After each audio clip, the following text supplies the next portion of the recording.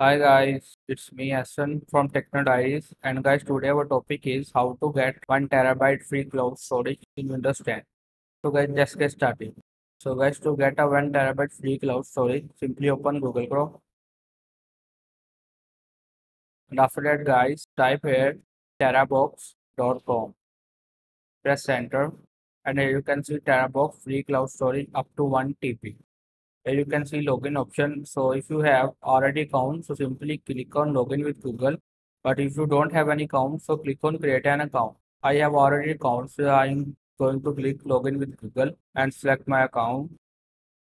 And guys here you can see a terabox homepage. So here you can see two options upload and new folder. So simply click on upload. And now you can see two options upload file and folder this time guys i'm going to show you how to upload file. So click on upload file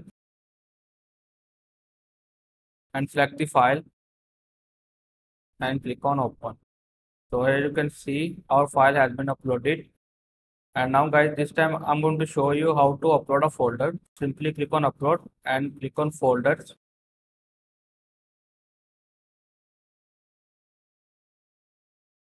And guys select the folder and click on upload.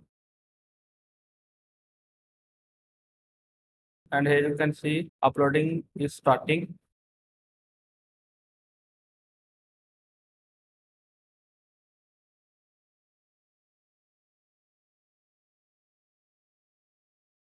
And guys here you can see our folder has been uploaded.